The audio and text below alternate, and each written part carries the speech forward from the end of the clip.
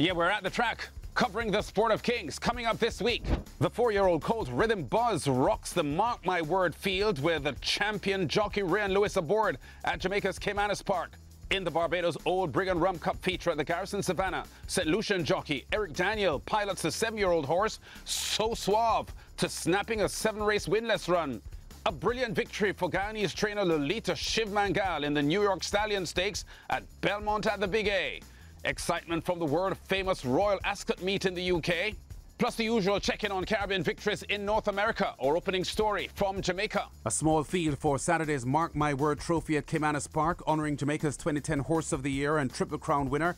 Only five starters, heavy betting on three of the entries, including last year's Derby winner Ability, the one horse with ex-champion jockey Omar Walker aboard, eyeing a hat-trick of wins, and the undefeated Fun Can't Done, number five, with Josue Osorio aboard from the high-powered Jason DaCosta barn. Ability, the marginal even money favourite. Fun Can't Done also at even money. Good betting support too for the three horse Rhythm Buzz, a 3 to 2 bet with champion jockey Reyan Lewis aboard for trainer Vinnie Atkinson. Ace commentator Brian Rickman picks up the call mid race. Runners tightly bunched on the front end with a reigning Derby winner slipping through to take control. The ability now sneaking upon the rail, and ability leaves the five and grabs the lead. She's my friend now beginning to fade. Fun Can't Done and Rhythm Buzz going in chase on the outside. She's my friend dropping back into fourth and the head cornerstone remains last as they quicken up, leaving the half mile and head toward the 716th. Its ability out in front. Fun Can't Done just on the outside, a length down. Rhythm Buzz is right there. A length and a half to two lengths separates the first three as they dash past the three. Five lengths back to the head cornerstone and She's My Friend continues to trail the field as they leave the 516th behind them and come toward the top of the lane. Fun Can't Done on the outside. Ability more toward the center. Rhythm Buzz looking for room in between them. The head cornerstone down against the rail. Fun Can't Done on the outside now points, but ability is full of ability and fighting back. Rhythm Buzz right on their heels as they travel toward the final furlong. It's wide open at this stage. Rhythm Buzz in between horses now points the nose in front. Fun Can't Done trying to fight on. Ability has not given up yet, but it is Rhythm Buzz and Action Pack. Reyan Lewis, he'll have his second win in the Mark My Word trophy. Pouncing on the leaders at the eighth pole, Lewis confidently rouses Rhythm Buzz to the fine win by a widening length and three quarters. Fourth straight win this for Rhythm Buzz, all trophy races, following scores in the Bonnet Blue Flag, Henry Jagai and Legal Light. One of three wins on the afternoon for the champion jockey Reyan Lewis. The Piaget Stables Rhythm Buzz, trained by Vincent Atkinson at 3 to 2, scores in the Mark My Word for his eighth career win ahead of Fun Can't suffering his first loss and ability. 1 minute 57.42 seconds, the winning time for 9 furlongs and 25 yards. Lewis enjoyed an afternoon triple and double trophy success, scoring two in the Mr. Lover Lover Trophy, a race in tribute to the double Derby winner in 1997 in Jamaica and TNT. Coming from the back of the field, Lewis in pink and gold silks, rousing the three year old colt Captain Sparrow on the outside, and early in the home stretch was already looking like the winner. It is supremacy in front. Captain Sparrow looks to be come, trying to come through on the inside, but here comes on the outside now. That is Captain Sparrow. And Captain Sparrow now hits the front supremacy. Is trying to fight back, leaving the furlong pole. It's Captain Sparrow in the midst Mr. Lover Lover beginning to skip away from supremacy, trying hard. It's Captain Sparrow and uh, Action Pack Reyan Lewis. He'll have a third on the card.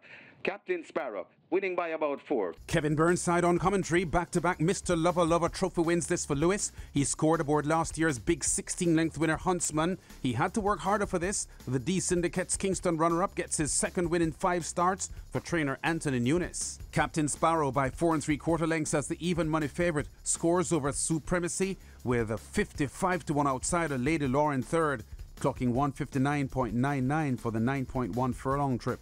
Racing fans in Barbados enjoyed another exciting night racing experience at the Garrison Savannah on Saturday. The Old Brigand Rum Cup feature, attracting some of the island's highest rated horses, including Renaissance Frolic and So Suave. So Suave, last year's Sandy Lane Gold Cup third placer, was already a winner in three different countries before arriving in Barbados, the second favourite with St. Lucian jockey Eric Daniel in a gate to wire bid here watched in the com box by Neil Gill. As they race towards the two furlong pole, and it is still so suave in front. The others have not yet got on, getting back in terms of them. Tough Rags is in second. Renaissance Frolic will have a lot of work to do. Here they come spinning out of the turn in the old Brigand Rum Cup, and it is so suave. Renaissance Frolic is trying desperately to get back on terms, and down the stretch they come. And It is so suave. Renaissance Frolic, so suave, so suave. It's a minute. A brilliant front running ride here by Daniel on the inside, keeping So Suave going to fend off the determined outside challenge from Antonia Bishop aboard Renaissance Frolic. Mrs. Nalicia Cozier, So Suave's third win this in Barbados and first since his Pride of Barbados trophy score on Derby Day last year, August. The seven year old had a pair of wins in the UK before shipping to North America, where he won at Florida's Gulfstream Park and Woodbine in Canada, and now advertising his class at the Garrison Savannah for trainer Jean Marc Cozier. So suave by a length at 8 to 5 odds, chased by Renaissance Frolic with a Spa Sprint winner in March, Saeed third as the 3 to 2 favourite. The winning time for 9 furlongs, 151.20 seconds. To New York's Belmont at the Big A, they're calling the Aqueduct racetrack these days, and a huge stakes win for the Guyanese trainer, Lolita Shivmangal. Her entry in Friday's $150,000 New York Stallion Stakes was a 9 to 5 bet, solo shot with a skillful Puerto Rico born jockey Irad Ortiz riding for her in the pink sleeves. And check out his patience as he moves from off the rail for his winning run in the six furlong sprint. They went 45 seconds flat for the half mile time, and still there is geopolitics and trying to split rivals. Here comes Solo Shot is looking for a way through. Being Betty is trying to hold that position, but now here comes Solo Shot after the leader. Geopolitics who's still clear.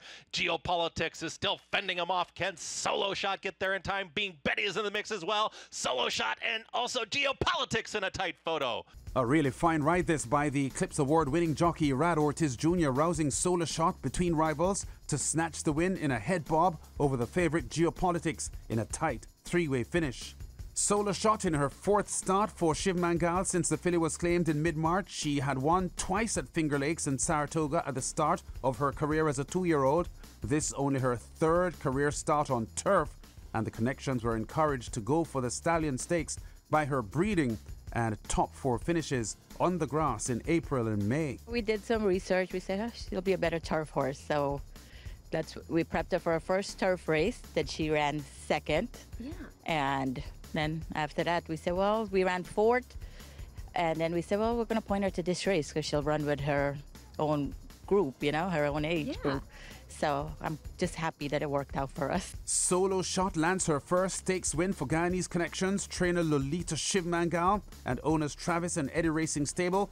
She scores by a nose over the 6 to 5 favourite, covering the New York Stallion Stakes 6 furlong sprint in 109.03. To the UK now, where Sportsmax has been presenting live all this week the superb Royal Ascot meet. Among the finest moments so far, a brilliant win for the four year old colt Auguste Rodin in the Prince of Wales Stakes. About to take control here down the home stretch on the jockey Ryan Moore in the blue and orange striped silks. Would face pressure from two French entries, but that special combination, Moore for trainer Aidan O'Brien, getting the job done in the 10 furlong run. Auguste Rodin takes over as they enter the final furlong. Horizon Doré and Zarakem coming for France. Out in front, Auguste Rodin trying to hold off Horizon Doré and Zarakem. Auguste Rodin has the lead. Zarakem coming hard and late, but he's going to be held. What a log for Auguste Rodin. Two Derby wins, also Breeders' Cup and Irish Champion Stakes. Moore with his third Prince of Wales' stakes win. Five for Trainer O'Brien, celebrating a record 87th Royal Ascot victory. Auguste Rodin by three quarters of a length as a 13 to 8 favourite for the £1 million Prince of Wales' stakes, clocking 203.12 for the 10 furlong run. Our usual weekly tally of Caribbean wins in the USA and Canada before we go. In the past week, since our last show, I've counted a whopping 88 victories. That's actually a record since I've started keeping these stats. Among the winners, the US Virgin Islands born veteran jockey Kevin Krigger with four wins at Emerald Downs. The Barbadian rider Rashawn Blanche had three wins at Illinois racetracks. Top Barbadian jock Rashid Hughes had four wins, including a Saturday triple at Century Mile when Samantha Fletcher created history, the first woman rider from Jamaica winning in Canada. She had a double. The Jamaican jockey Kirk Johnson had three wins at Fort Erie on Sunday. And uh, the Barbadian jockey Rashad Knights had five wins at Assiniboia Downs. We've been at the track covering top stories and exciting races in the sport of kings. Check us out again next week.